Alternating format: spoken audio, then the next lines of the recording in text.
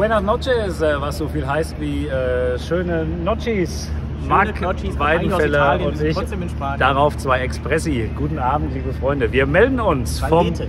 Glorreichen, vom legendären, vom epischen Camp Nou, das ehrlich gesagt von außen gar nicht so geil aussieht, finde ich. Aber Die inneren Werte. Die inneren dir, Werte, dir. das ist Werte wie in klasse. der Liebe. Die inneren Werte sind das, worauf es ankommt. Und im Inneren durften wir uns gerade schon mal kurz aufhalten. Mhm. Und Marc, ähm, es ist schon imposant, oder? Das war schon fast ein magischer Moment, muss ich sagen. Ja. Wie, also man kennt es ja als Kind, dass man, wenn man ins Stadion reingeht, zum ersten Mal das sieht, das ist schon sehr gut. Da fährt übrigens gerade die Mannschaft weg. Teile der Mannschaft muss Da fährt gerade Oliver Glasner und Kevin Trapp vorbei im Hintergrund. Aber ähm, komischerweise. Nee, wollte auch nicht mitmachen heute Abend. Nee. Auf jeden Fall, wir waren gerade drin und äh, es wird super. Also der, der Gästefan-Käfig ganz oben, äh, sozusagen in Etage 17, ist äh, ein bisschen schwierig, aber das Schöne ist ja, ihr werdet ja morgen nicht nur da sein, sondern ihr werdet überall sein. Aber zunächst mal reden wir über das, was heute war, Marc, bevor wir auf morgen Was gucken. war denn heute? Mittwoch. Heute war, uh, ich weiß es gar nicht, ich habe so ein bisschen das Zeitgefühl verloren. Euch geht es wahrscheinlich ähnlich. Auf jeden Fall warst du, Ja. Marc Weidenfeller. Marc Weidenfeller war heute im Heiligtum des FC Barcelona bei der Pressekonferenz und hat Xavi geduzt und ihm eine Frage gestellt. Hallo Xavi, habe ich gesagt. Hallo Xavi, hast du Xavi. gesagt. Nee, Bucketlist. tatsächlich äh, beim FC Barcelona, La Masia kennt man ja noch, habe ich vorhin schon in der Insta-Story, könnt ihr auch mal angucken, gesagt, da wurde unter anderem der kleine Lionel, als er so klein war, mittlerweile ist er immerhin so groß, äh, wurde er ausgebildet zu einem, vielleicht dem besten Fußballer, darüber können wir eine Einzelfolge machen, wer der beste Fußballer aller Zeiten Oh ja, war. Das mich. würde jetzt ausschweifen.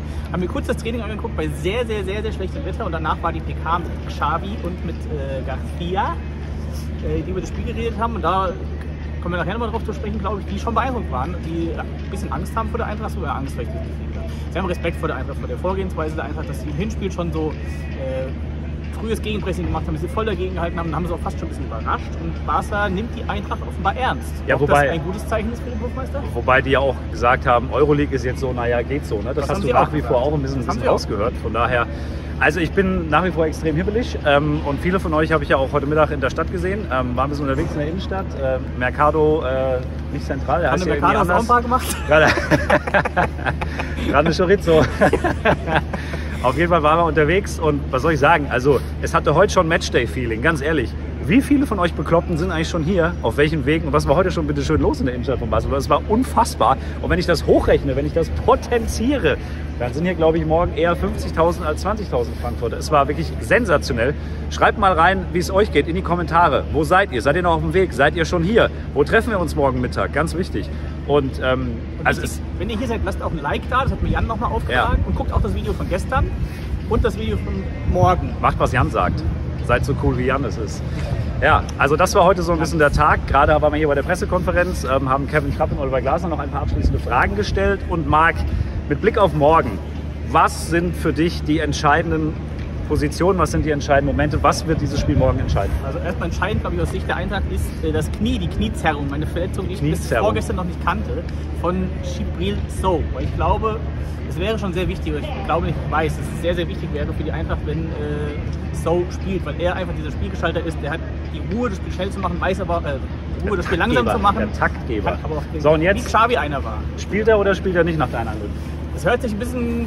Er hat nicht trainiert heute, hat nur individuelles Programm gemacht. Nie gut. Nie Äh, gut. und morgen früh nach dem Aufstehen soll entschieden werden, wie es ihm geht. Ich hoffe, er hat eine gute Nacht.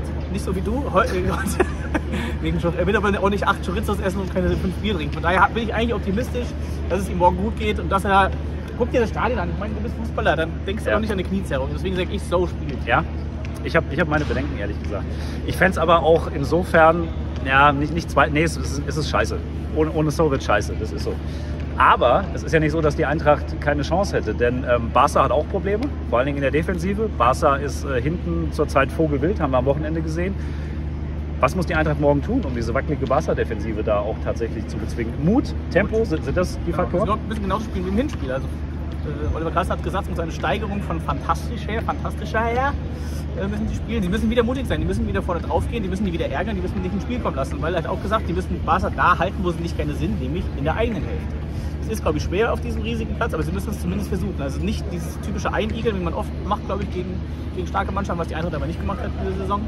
Äh, das müssen sie wieder machen. Dann, glaube ich, kann es, kann es klappen irgendwie, oder? Was meinst du? Ich glaube auch, dass es klappen kann. Ähm, aber auch Trapp und Glasner haben gesagt, es muss, muss viel zusammenkommen. Ne? Ähm, es, es ist einfach so. Und Glasner hat gesagt, du musst noch mal besser spielen als im Hinspiel. Das war für mich so ein, so ein prägender Satz dieser Pressekonferenz gerade. Weil das Hinspiel war ja schon nah dran am perfekten Spiel. Das heißt ja, dass du morgen noch perfekterer, um den nächsten Superlativ ähm, zu benutzen, ähm, ist gar nicht der Superlativ, oder?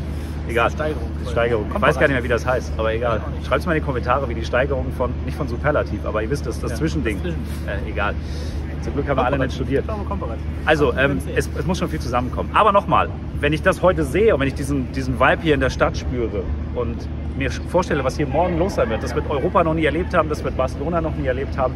Alles ist drin. Morgen 21 Uhr. Ihr könnt euch akustisch live begleiten lassen von Tim Brockmeier und mir. Tim kommt mal kurz ins Bild und äh, Tim, Tim hat gerade schon eine sehr schöne Wortschöpfung für morgen kreiert. Tim, erzähl mal. Ich will Sie sagen, Ja, Was wir, wir erwarten hier? hier einen Hessenkessel. So, ein, einen Hessenkessel morgen. Das ist jetzt schon wirklich, wir haben richtig Bock ab 21 Uhr, Audio, Livestream, ähm, hessenschau.de oder bei H-Info. Aber wir sind ja vorher zurück. Morgen sind die anderen ähm, Buben aus der Bande ebenfalls in der Stadt. Ja? 15 Uhr live. Genau. Wir werden 15 Uhr live gehen äh, bei YouTube. Ich hoffe, ihr seid dabei oder wir sehen uns einfach morgen Ich irgendwo möchte jetzt aber noch einen Tipp von dir. bei Rumble in La Rambla. Let's get ready to Rambla. Also mein, mein, mein Tipp ist, es geht jetzt Elfmeterschießen und dann gnade uns der Fußballgott. Deiner? Es waren 12.000 Leute in Bordeaux. Es waren 15.000 Leute in, in, in, in Inter Mailand. Beide Spiele gegen 1 zu 0 aus. Torschütze in Bordeaux, Martin Lanik, Torschütze in Ma- Mailand, Luka Jovic. Ist, morgen sind 20.000 hier, also geht es auch 1 zu 0 aus. Torschütze, das gesagt. Ähm, oh, Das dauert zu lang fürs Internet. Ich würde sagen, Lindström macht's. ja, hätte ich jetzt auch gesagt. Gut, dann sind wir uns einig. Oder Boré, weil einfach, weil er sich irgendwie verdient hat, weil es es eine schöne, schöne Geschichte wäre. Ihr lasst nochmal die Tipps da. Ähm, ihr schreibt, wie es euch geht und überhaupt, ähm, mir geht schon mächtig die Düse. Wie geht's euch? Morgen 15 Uhr YouTube live. Wir sehen uns. Bleibt am Ball. Das wird Und schön. Wir freuen uns Hasta und äh, versuchen jetzt mañana. irgendwann zu schlafen und gehen jetzt arbeiten. So ist es. Hasta äh, Pasta. Adios.